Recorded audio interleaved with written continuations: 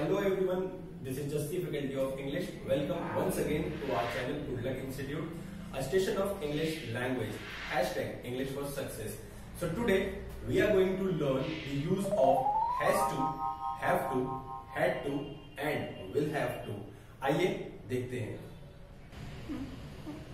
तो जैसा कि मैंने आपको बताया कि आज हम सीखने वाले हैं use of has to have to had to and will have to but before we begin I just want to tell you हमें ये यूज़ कहाँ कहाँ करने हैं? इनके सभी सेंटेंसेस में या तो हमारी आएगी कंपल्शन इसका मतलब होता है मजबूरी, या आएगी ऑब्लिगेशन इसका मतलब ज़िम्मेदारी होता है। और तीसरा हमारा यहाँ पे आता है किसी भी चीज़ की necessity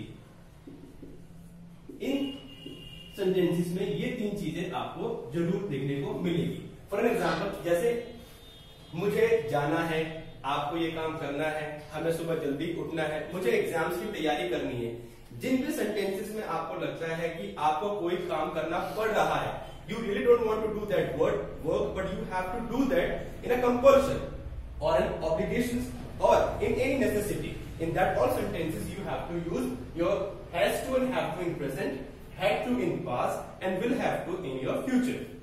Let's take some examples.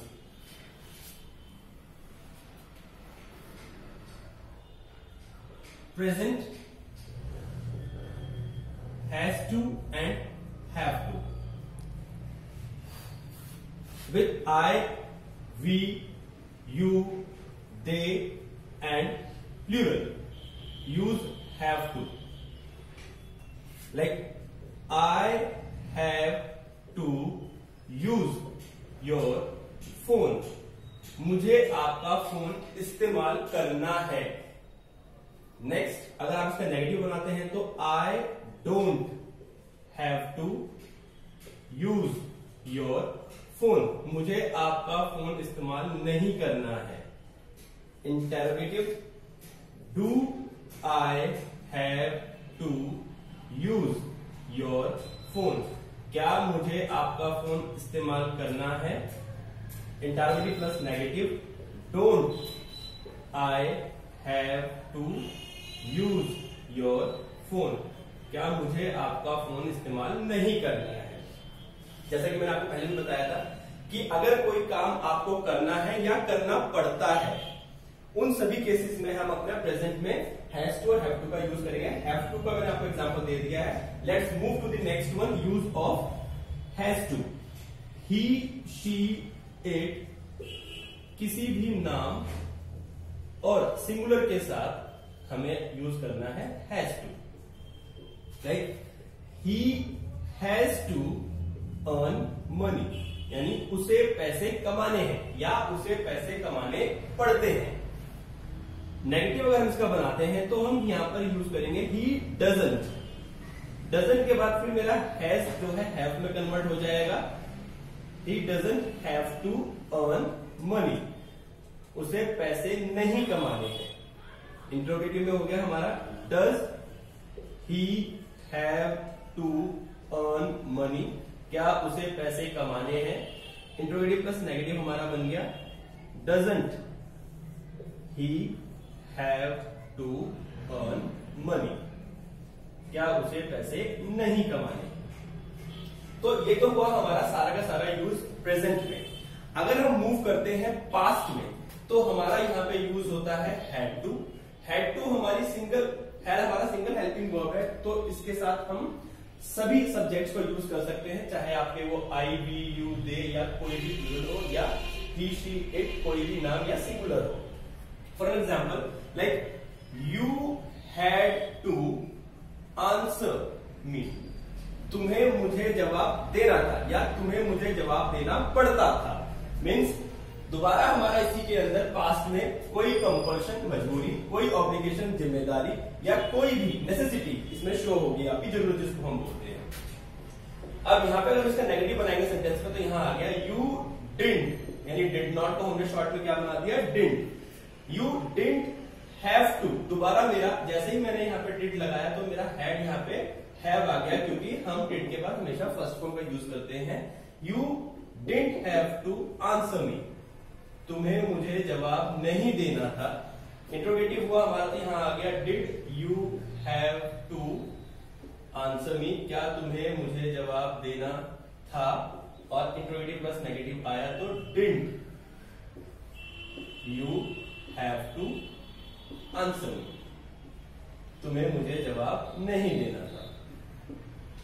अगर हम किसी को लेके जाते हैं फ्यूचर में तो हमारे सेंटेंसेस बनेंगे, मुझे बोलना पड़ेगा या मुझे बोलना होगा, या तुम्हें जाना होगा, तुम्हें जाना पड़ेगा, मुझे सभी को इनवाइट करना पड़ेगा या मुझे सभी को इनवाइट करना होगा। Again we are talking about the compulsion necessity and obligation of somebody fine तो अब हम यहाँ यूज़ करते हैं विल हैव टू का। इसका मतलब होता है पड़ेगा, पड़ेगी ना होगा नी होगी, इस तरीके से हम इसको यूज़ करेंगे। जैसे मैंने बोला, Raju will have to will have to come early यानी राजू को जल्दी आना पड़ेगा, या राजू को जल्दी आना होगा। इसका नेगेटिव अगर हम बनाते हैं तो यहाँ आ गया हमारा राजू वॉन्ट विल नॉट को हमने यहाँ पर शॉर्ट में कर दिया won't won't have to come early Raju को जल्दी नहीं आना पड़ेगा।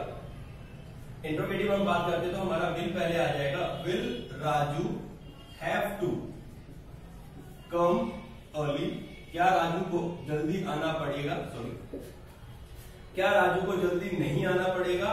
Won't Raju have to come early तो इस तरीके से आप जब भी भी अपने सेंटेंसेस में बात करते हैं कंपल्शन ऑब्लिगेशन नेसेसिटी तो हमेशा आपके प्रेजेंट में हैज़ टू हैव टू का यूज़ किया जाएगा पास्ट में हैड टू और फ्यूचर में विल हैव टू का यूज़ करते हैं। कई जगहों पर हम हैज़ टू को पढ़ते हैं हैज़ का हैज़ का लाइक ही हैज़ टू और हैव टू को हम पढ़ते हैं हैव का like I have to earn money ये जो हमारे हैज़ का और हैव का होते हैं, इनको हम बोलते हैं इंग्लिश रिडक्शन इनका यूज़ कई जगहों में यूज़ किया जाता है हमारे, जैसे हमने वन टू को वाना बना दिया, ठीक है? गोइंग टू को हमने गोना बना दिया काइंड ऑफ़ को हमने किंडा बना दिया। तो ये सारी की सारी जो होती है हमारे इंग्लिश रिडक्शन होती हैं, जो हम आगे वीडियो में सीखेंगे। तो ये सभी हमने आज जो सीखा है, हमने सीखा है use of have to have to had to will have to जिसके अंदर हमारी again I just like to tell you guys again जब भी आपके सेंटेंसेस में आती हैं कंपल्शन ऑब्लिगेशन नेसेसिटी तो आपको इन चीज़ों का इस्तेमाल करना है। Give this video a thumbs up if you like the video and please let us know about your feedback because your feedback is really very important to us. This is just the signing of the day.